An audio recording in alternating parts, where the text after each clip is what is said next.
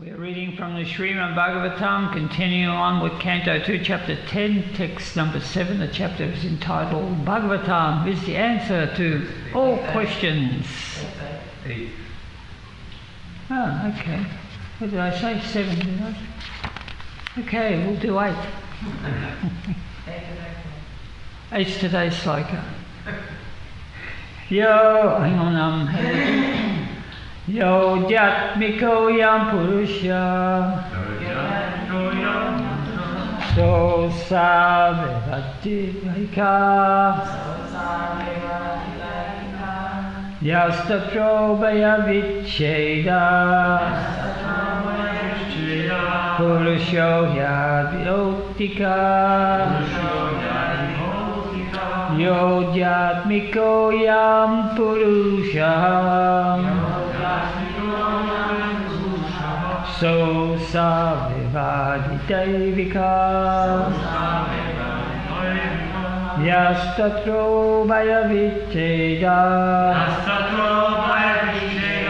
purusho hyadi bodhika. Ya one who? Adhyatmika. Is possessed of the sense organs ayam this purusha personality. Sa. He. Aso that. Eva. Also. Adidevika controlling deity. Ya. That which. Tatra there. Ubaya. Of both. Vicheda. Separation. Purushaha. Person he. For adibautika visible body or the embodied living entity. The visible body or the embodied living. Translation. The individual person possessing different instruments of senses is called the Adhyatmic person, and the individual controlling deity of the senses is called Adidevic. The embodiment seen on the eyeballs is called the Bodhic person. Purport by Srila Prabhupada. The supreme controlling summum bonum is the personality of Godhead in his plenary portion of Paramatma. Or the super soul manifestation, Bhagavad Gita 1042, it is said, Attava bahunaiktena kim yatta tavajuna vistabhyaham tam krishnamikam sa. All the controlling deities like Vishnu, Brahma, and Shiva are different manifestations of the Paramatma feature of the Supreme Personality of Godhead, Sri Krishna, who exhibits himself in such manners by entering into each and every universe generated from him. But still, apparently, there are divisions of the controller and the controlled. For example, in the food controlling department, the controller of food, now we can all relate to this, can't we? Is a person made of the same ingredients as the person who is controlled. Similarly, each and every individual in the material world is controlled by the higher demigods. For example, we have our senses, but the senses are controlled by superior controlling deities. We cannot see without light. The supreme control of light is the sun. Sun god is in the sun planet. And we, the individual human beings, or any other being on this earth, are all controlled by the sun god as far as our eyes are concerned. Similarly, all the senses we have are controlled by the superior demigods who are also as much living entities as we are. But one is empowered while the other is controlled. The controlled living entity is called the, the Atmic person, and the controller is called the Hari Devic person. All these positions in the material world are due to different fruitive activities. Any individual living can become, or any individual living being can become the sun god or even Brahma or any other god in the upper planetary system by a higher grade of pious work. And similarly, one becomes controlled by the higher demigods by lower grades of fruitive activities. So, every individual living entity is subject to the supreme control of the Paramatma, who puts everyone in different positions of control and the controlled. That which distinguishes the control and the controlled, that is the material body, is called the Adibhautik Purusha, the body is sometimes called Purusha, as confirmed the Vedas in the following hymn. Sava esa Purusho Nagasamaya. This body is called the Anurasa embodiment. This body depends on food. Living entity which is embodied does not eat anything. However, because the owner is spirit in essence, oh, um, Oh, I'll say this again. The body depends on food. The living entity which is embodied does not eat anything, however, because the owner is spirit in essence. Makes sense? The material body requires replacement of matter for the wearing and tearing of the mechanical body.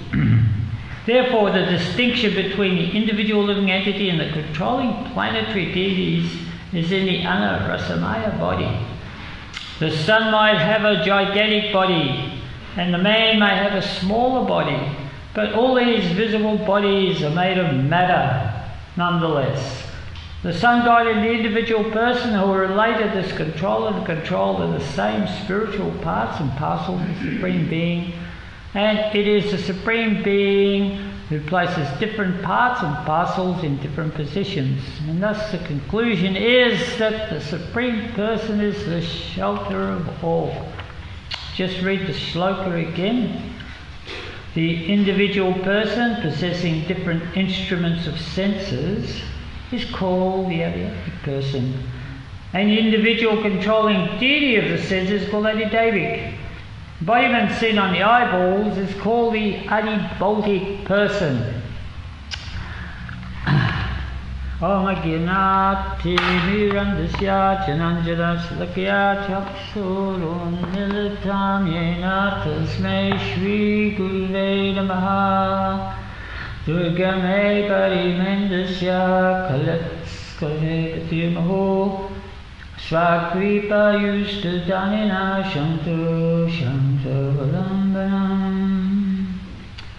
we are continuing on with the Lord's description of the creation. So yesterday, uh, Vinod Prabhu elaborately talked about the ten uh, different stages of creation.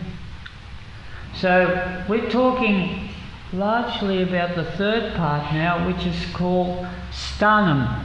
So we have the creation, we have the cosmic manifestation. The third one, if you remember, was the planetary system. So within this cosmic manifestation, the Lord, all the energies there, so the Lord creates all the different planets. And then the first living entity, Lord Brahma, comes into this creation. He's given the task of population, populating um, all of the different planets with material bodies. And he's given all the material elements at his disposal to create different types of bodies. So then, when these bodies are ready to go, the Paramatma comes in, summum bonum all creation, Paramatma, he comes in and he impregnates these bodies with his own uh, self, a part, a small part of himself. One ten thousand part, the tip of a hair in all the different bodies, doesn't matter what size the body. Um, in the Vedas, they have the atomic measurements, just like in science, we think that we're really gone so far that we have the great and the small and the atom. But the atom was there in Vedic science. It was described as to be the Anu. And so these atomic measurements were measured. So this one was giving that you get tip of a hair, split it into a hundred pieces, and you get one of those hundred pieces, the tip of the hair, and you split it into a hundred again. Okay? That's the size of the Paramatma, the super soul within the heart. And of course, with the Paramatma comes the Atma, as um, uh, Vinod was explaining, or Maharaj was explaining yesterday in the supplementary answers of questions that the living entity comes out of this white hot stem that is emanating from Lord Vishnu and he enters into these bodies and he populates the bodies. So, Srila Prabhupada mentions very quickly, in, briefly, I say briefly because he doesn't actually give the purport to his, uh, it doesn't give the translation, but he just gives the sloka. Krishna Svad, oh, oh, wrong sloka. Atava bahu naitena kim yatina tavajuna. Vistabhyamidam Krishnamikam Sinasitojagat. That's out of chapter 10, verse number 42. That what need is there, O Arjuna, for all this detailed knowledge, with a single fragment of myself I pervade and support the entire universe. So Krishna is there with these single fragments there, supporting not only this universe but all the other different universes. So we are talking about gigantic bodies. So sometimes we talk about living entities, gigantic living entities. To my knowledge, the most um, gigantic living entity I know of is the whale. Right? It's pretty big. And then the small living entities, we can talk about the ant, Screwstella. So these two living entities, they both are impregnated with, this, um, with the Paramatma. Not only is there a soul there in these bodies, but the Paramatma is also there. But what is different, they are given a different uh, set of senses to work with. So that is the case of all the different living entities. So we're all individuals in our own right, but still uh, we are the summum bonum of the um, manifestation supreme personality of Godhead. Just like, for instance, the whale, he's got a particular, uh, so many particular attributes that the whales they are very cooperative. They travel in big pods. And when they want to catch fish, they cooperate. They surround little krill and they go in one at a time so the fish don't get out. Those little fishes don't get out, and then they eat, and then they go back, and then they let somebody else. And they're very attached to their child, and they migrate for many, many thousands of kilometres. Like they go from, um, we see them up the coast of Australia. They go up north. They propagate. They come from the Antarctic, travel thousands of miles. So how do they get there? That's their special sense that they have, the sense perception. We need radar, we need satellites to go anywhere, right? Whales, they travel normally. And as do other fish and other species, birds and everything, they all have their own particular set of senses that maybe we as human beings don't have. So uh, each individual created being has that, those different attributes, like for instance the ant. Now that is very um, we write ants off. We see a little ant there, we take no notice of it, but it's a part of a colony. And it's a, it could be a working ant or a soldier ant, and they serve the queen ant, so they have their own social order. And their attribute, if it's going to rain, you see them climbing up the walls. If you want to have a look at ant colony, you just go to these pillars over here. On every pillar, there are thousands of ants hundreds of thousands of them. Probably the whole population of human beings in Australia is the ant population around temple here. And they have their own social structure here. Right, so this is the um, glory of the Lord. So we as human beings, we are controlling to some degree, we're controlling all the different living entities there because we have uh, the intelligence, the attribute of intelligence, which animals don't have. Of course, we can ask uh, about our own self, um, self within the self, the spirit soul, but the animals are just completely attached to the three modes of material nature eating, sleeping, and mating and defending. But um, within this energy, so we are part of this. So we are the greater living entities, and then of course there's the living entities that are greater than us, the demigods. So Srila Prabhupada spends a fair bit of time describing how uh, the demigods are controlling the uh, status of the universe. So we have our different. Um, hang on, just. So Prabhupada explained the divisions of the controllers. So as I said, we control all the low. Well, we, we can manage the lower species. We're not in control of anything, but we still uh, we have this relationship. So the demigods, they are our controllers. They sustain us. Just Prabhupada gives that example uh, very elaborately in this purport here. How Surya, the sun god, we are so dependent on him. So the sun is this huge manifestation. It's bigger than all the planets in the solar system put together, and it's this one big body. But there's a person behind the sun god, and the light is emanating, and with the sun we get the light and the heat and so many other different things. So we are being controlled by the sun god. Similarly, so with the light we can see, with the heat we can feel, touch, uh, the warmth. So also with um, Breathing. We have a demigod for breathing. Who would that be? Vayu. Yeah. So Vayu's blowing the wind here and there, and we're able to breathe. And similarly, we have Agni, the fire god. He gives us the so fire in so many different ways. The fire of digestion um, the energy that we feel from the fire, the heat, how it transforms into food, and so on and so forth. And in this way, we have 33 million demigods that are in charge of this universe, that are controlling in so many different ways, different controlling uh, controllers of the universe, the, the managers of the universe. So I just sort of gave this little bit of a synopsis so now we get into these three um, categories of Adi Devik, Adi Bautik, and Adhyatmik, which, uh, Prab- uh, which is being mentioned here in this text state. So, uh, in reference to these, so we have the Adhyatmika. So that is uh, right at the beginning when Brahma creates these bodies and then these bodies become impregnated with the super soul, and the time element comes into play, and it's, uh, it's like a big drama action, lights, action, camera, and everything's put into motion. The whole universe is put into motion.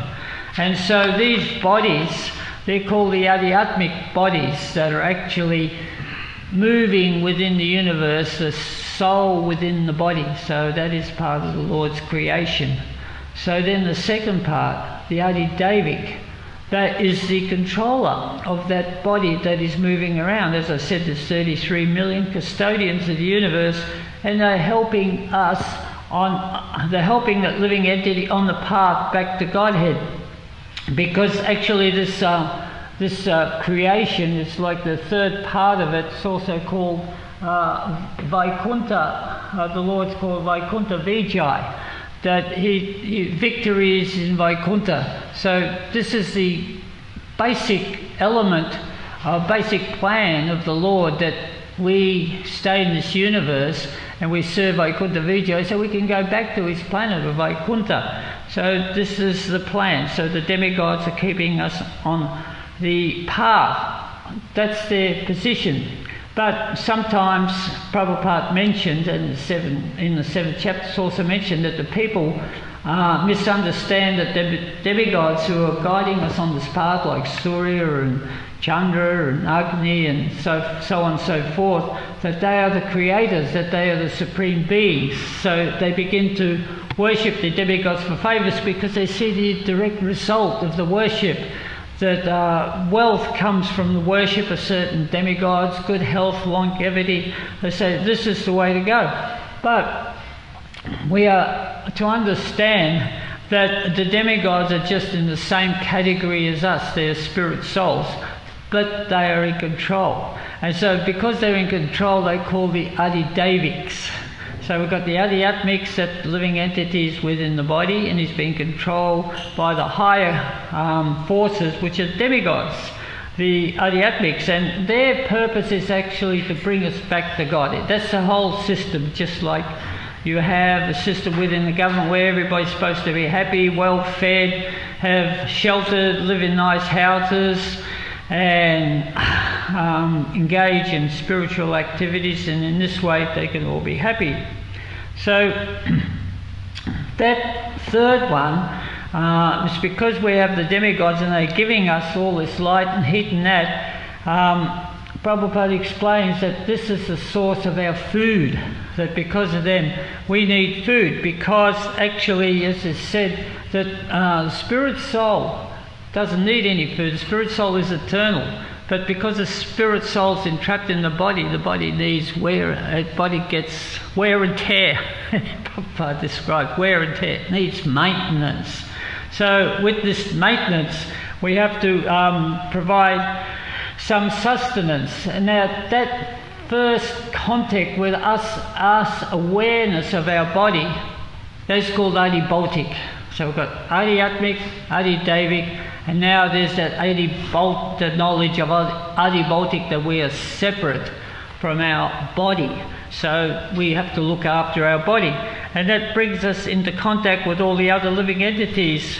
Um, the demigod, not only demigods, but relationship to us in a sense that this is my body, my hand, my leg, this is my wife, this is my friend, my brother, my mother, my father, uh, and so on and so forth. So we have uh, the adibautic relationship. This is my property.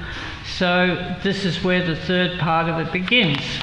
So that is essential for us to exist, that we have to cooperate in the sense that we have enough food, sustenance to eat, and so everything's going nicely. It's meant to go nicely. Krishna explains in the third chapter of the Bhagavad Gita, verse 10, Sahajagya Prajashrishtva Pravacha Prajapati. Anena Pravishyadvam Isa Vosti Istakamadrik that in the beginning, right in the beginning creation, the Lord of all creatures sent forth generations of men and demigods, along with sacrifice, yajna, for Vishnu, and blessed them by saying, Be thou happy with this yajna, because its performance will bestow upon you all desirable things. So this uh, soul in the world. So that's God's plan. That um, there's the demigods, there's a living being, and you perform this um, yajna. You actually give uh, respect to the Lord. That this is the Lord's property. And in this way, you will go forward. Just like if we want anything, if we want something to eat, we will go to someone and ask them, Can we have whatever you're growing to eat? He said, Well, what have you got in return? We have an exchange, or if we don't, we say, Can we have it as a donation? And then we pay respect. So there's always the respect that is given to the person who is providing. And so the ultimate provider, of course, is Krishna. He's the creator of everything.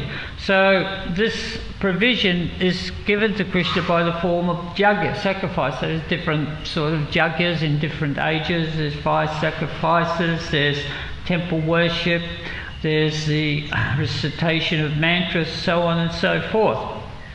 So in this way, um, the, there is... Uh, a harmony. So it goes on in the next sloka um, where it actually explains 311 Devam Bhavatya Na Te Deva Bhavatam Baha Parasparam Bhavatyanta Shreyam Param Avastyata. So the demigods, they've been pleased by the sacrifice, they'll also please you uh, with this nourishing, this nourishing one another, and there will reign general prosperity for all. So this is the system. It's very easy. It's like the blueprint that the Lord has given. Here's the material universe. Here's living entities. You pay respect to the demigods who are provided. The demigods So worshiping Krishna, they're providing sacrifice to um, Supreme Personality of Godhead, and everything happens. So when the demigods, as Prabhupada explains here, so when the demigods are pleased, they give you fresh air, right? Fresh air. We're very, very fortunate to have fresh air. Some countries, some cities do not have fresh air. They have very, very poor air quality. You can hardly breathe you get sick. So, air, light, water, fire, uh, they're all entrusted demigods, and we get this energy and it's converted to sanctified foodstuff.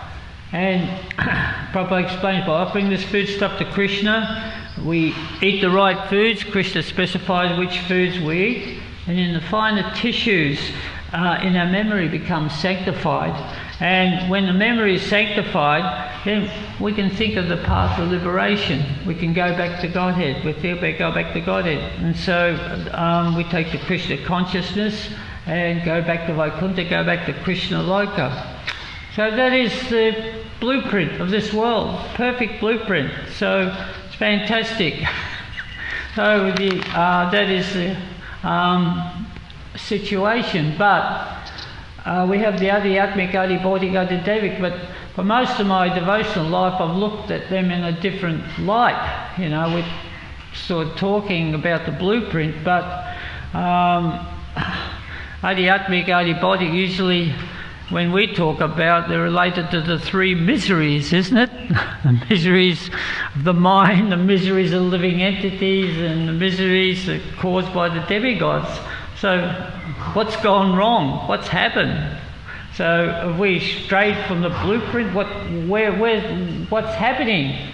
So, in 3.12 of the um, Bhagavad Gita, the 12th verse, uh, gives us an indication that Istan Bogam hi eva dasyante jagya bhavishtaha ter tato apritad yo yo bhukte stena evasta. So, in charge of the various necessities of life, the demigods, being satisfied by the performance of Jagya, supply all the necessities to man. So that's what we've been discussing.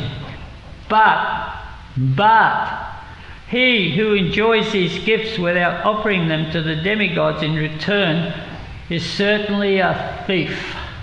Right, so that is the um, that's the road to liberation. Uh, so Prabhupada explains in a purport that's the road to liberation through this process of jagya. But if we take all of this energy and uh, use it for our own sense gratification, then what happens is that we become more and more tangled up in this material existence, that we lose the plan, we lose the plot, and then we become engrossed in that concept of I, me, and mine.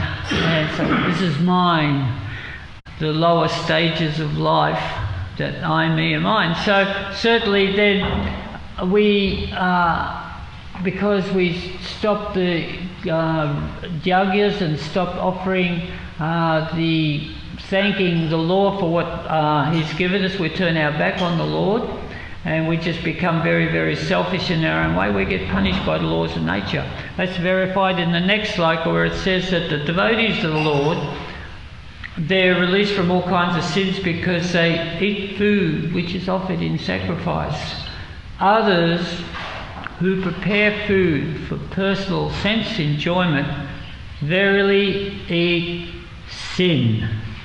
Very, very heavy, heavy, heavy, heavy purport, a heavy sloka there. So this is where the kleshas come into play. As soon as we stop that sacrifice to the demigods, then the demigods aren't very, very happy, right? And then they can um, stop uh, giving us all the benefits that are there within the earth.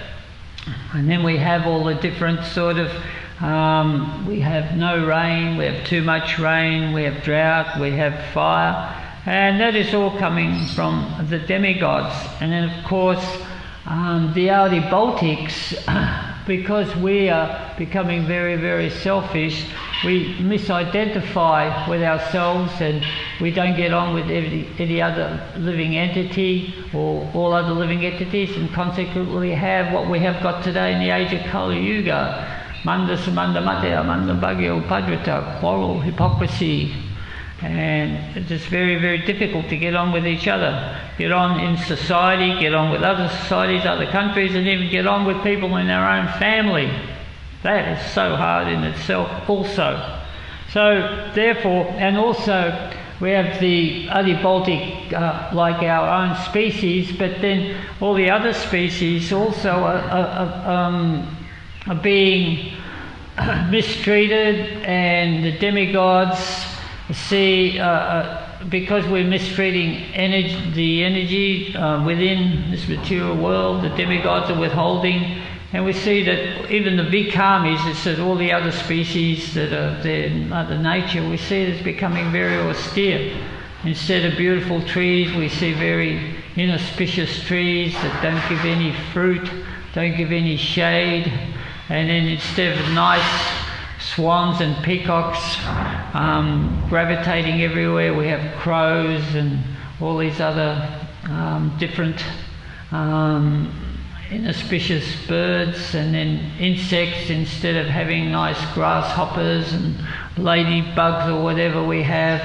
Um, insects that bite us and create disturbances like cicadas. So this is all going wrong. It's all going belly up due to our misidentification with ourself that we are thinking this body, I, me, and mine. We have no longer any connection with our real self. So when that happens, the adhyatmic comes into play that our mind becomes bewildered because we can't get enough. It's sort of trying to enjoy sense gratifications like pouring oil, uh, like mixing oil and water. It just doesn't work. Or another example Prabhupada gives is pouring petrol on the fire to try to put the fire out. More sense gratification. Um, just leads us into further entrapment. So this is where we have the Adhyatmic, Adi Baltic, and uh, Adidaivic. They become our, our miseries, our, uh, our, our kleshas, the things that cause us difficulty in this material world. So this is our situation within the material world that we have the different categories of human beings who we deal with. We have the karmis, the gyanis, and the yogis. So the karmis, so most of the, that's where we get the word karma, is because people in the world today they want to accumulate more and more that the material energy has to give them, and it's. Um, that, that is the shelter, that is the goal of life to actually become well established in society. Not only when you're um, using your senses to um, accumulate all these things in your body, but also the subtle ones fame, adoration, and distinction. So, uh, this is where people say, want to leave a mark on this world, famous or adored by everybody, and that, that is the success of people in this life. So, but what happens is they're oblivious of their temporary lifespan, they have no knowledge of the self, and through ignorance they're cast back into all the different species of the material world to uh, repeat life again and again. They've lost the plan. Then there's the Gyanis who want to go a little bit higher and they study different things in the material world. We have so many different ologies sociology, um, uh, archaeology, geology, astrology, psychology. All the different sort of studies of the um, different psyches, just like Srila Prabhupada explains in the purport here, that people get carried away by studying this material energy. Just like if you want to study animals, like I was saying, so many different animals have so many different instincts. So you become engrossed in nature or trees. There's different. There's like so many millions of species of animals, so many millions species of trees, aquatics, insects, so on and so forth. So if you become distracted, even rocks, you study rocks for their sedimentary value or whatever, um, or past civilizations, But it's all fact that actually Krishna is the source, the Paramatma is the source within all these species. So you're just studying the shell, you're not actually going inside. So therefore, that jnana, that knowledge, is missing.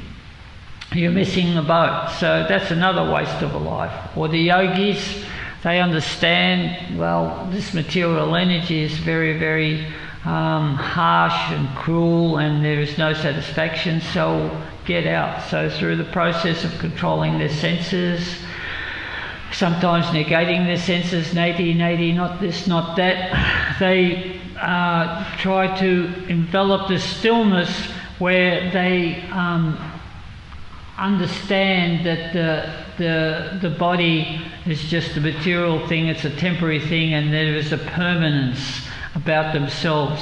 And then that, they identify that permanence with themselves as being they're part of God. I've conquered my senses, I've become part of this oneness. It's actually, it's saying it's all one. It's getting very, very tiresome now. We're all one. It's been going on for decades. So that is also a misidentification because uh, in the purports here it's given Vadanti Tattva Vidas Tattvam Yajnanamadvayam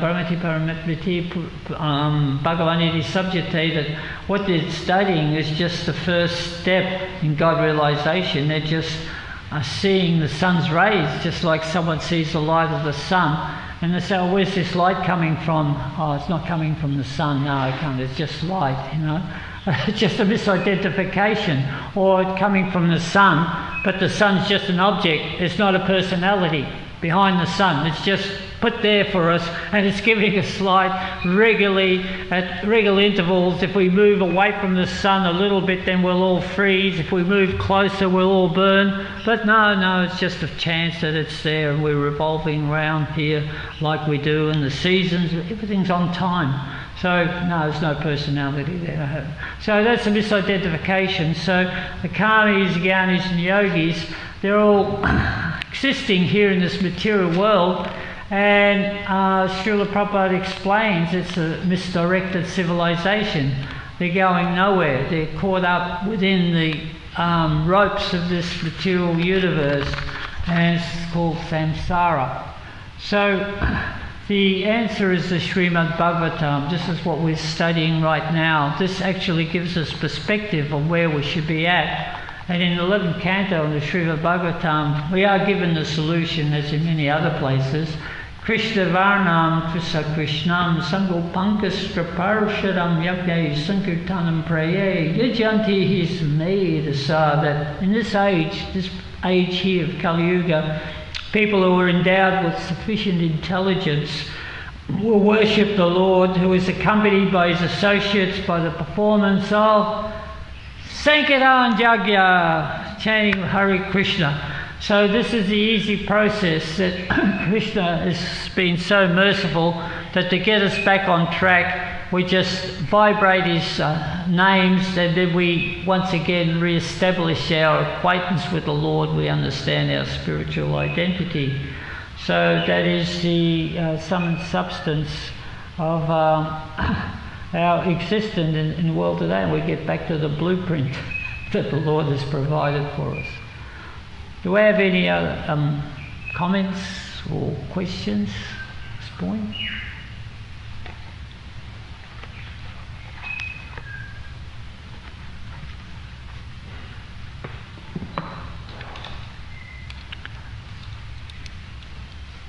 Yes. Oh, you're just brushing a fly. Okay. Anybody else? Okay, thank you very much, Jai. Oh boy, sure, Prabhupada.